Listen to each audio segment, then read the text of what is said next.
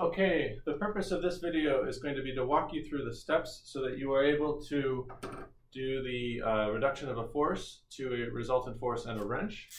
So the first step that you're going to take is to compute both the resultant force and a resultant moment about a point. And so these are the regular formulas where the resultant force is just the sum of all the individual forces applied to the system. This is a sum of vectors. And the resultant moment, let's say about some point A, is going to be equal to the vector, well, the sum of a vector from point A to the line of action of each of the forces, cross product with each of the forces themselves. So it's each case, for each force, it's a vector from the from point A to the line of action of force I. And so that gives us our two, our two things, okay? And so then what we're going to have is at some point A, we're going to have a resultant force. And we're going to have, at some arbitrary orientation, we're going to have the resultant moment, just like that. And I'll draw, to, to indicate a moment, I'll draw a little uh, arrow going around it like this. So that's step one. So here you have point A, and there you have the, the two uh, resultants. Okay, so the next step is in the general case, so um, you have a case like this in your homework, in the general case, these are not perpendicular to each other, they're not parallel to each other. So the next step is to decompose the resultant moment, mr, into a part that is parallel to the resultant force.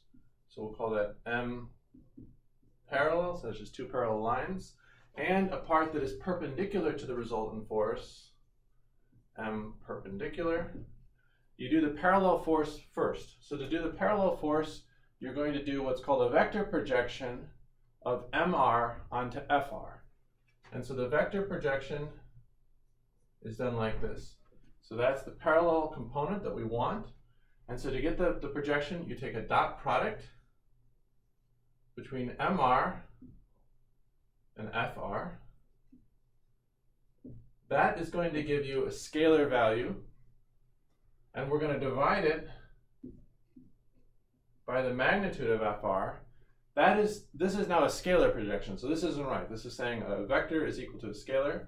So we need to make it into a vector. We want it in the fr direction, so we're going to multiply again. So this is scalar multiplication with a vector. Um, now everything, it's got the right direction, but it has the wrong magnitude. So we need to normalize both the FR. So we divide, we divide it by the magnitude squared. So this now gives us the parallel component. So we can kind of draw that like this. So there is our parallel component of the moment. The second part is to get the perpendicular component. Now, we want the vector sum of the parallel component plus the perpendicular component to be equal to the total resultant moment. So to get the perpendicular component, we just subtract. This is relatively simple to do. Like so. And now we will have m perpendicular. Okay. So the next step is now this is kind of 2D, we're going to shift it to a 3D image now. So the next step is, so we have now a resultant force, a parallel component, and a perpendicular component.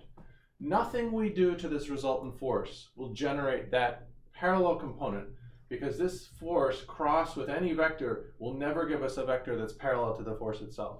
As a cross product, you always get a perpendicular. So we have to live with this. This is going to be the, the couple moment of the wrench.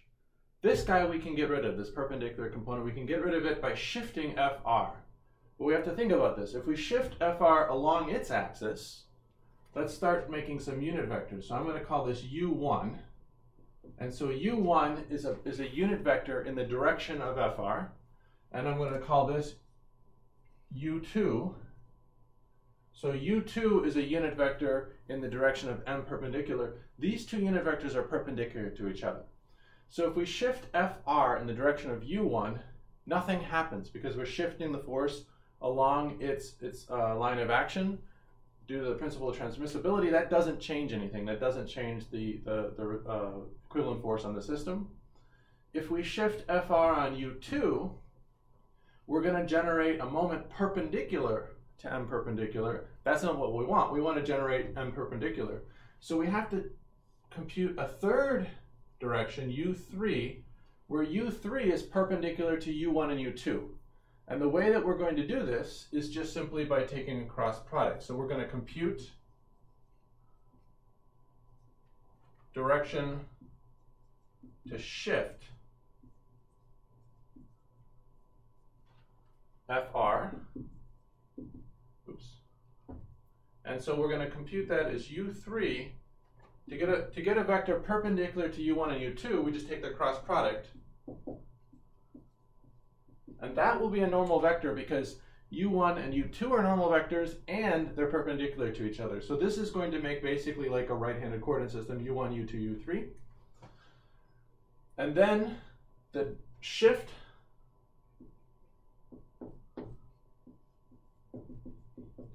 fr by d is equal to the magnitude of m perpendicular divided by the magnitude of fr. So we're going to shift it a distance d along u3. Okay? And if you look at this, that's going to generate a moment um, in the u perpendicular direction, or the m perpendicular direction, right? Because if you if you put your hand in the direction of, of m perpendicular, that's going to make a moment the way that my, my fingers are curling. If you shift FR along this direction U3, that's going to generate the same sign of the direction. So the important thing here is that it's U1 cross U2, where U1 is the direction of FR and U2 is the direction of M perpendicular. If you switch the order of these, you would have to put a negative sign here to get the right the right sense of the, the, the moment. Okay, now that's pretty much it. Um, so we're going to shift. So this is the distance we're going to shift it, but in terms of the vector, we could write d, the vector that we're going to shift fr, is equal to d times u3. Um, now there's one last bit. In the homework problem, in, in the assignment, uh, the current homework assignment, your goal is to compute the location that FR is going to act on a plate, but on the plane of the plate, meaning that in this case the z component has to be uh, equal to zero. So when you do this shift, this u3 direction, it's going to have, generally speaking, a non-zero z component. So this shift may shift your FR, where FR is acting, off of the plate. And so the last step that you can do is you can further shift FR along the one direction that doesn't change anything along U1, which is the direction line of action of FR. And the way to compute how far to shift it is after you've done this shift, you figure out what the z component of the acting point of force is, and then divide it by the z component of u1. That will tell you how far along z1 you have to, to shift, um, so that let's say the point of action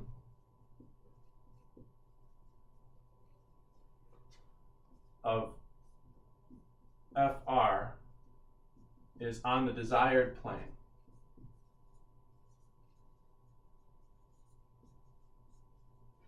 So basically, if we sum over, the, if we go over the, the steps, you sum up all your forces, you sum up the moment at some at some arbitrary point A.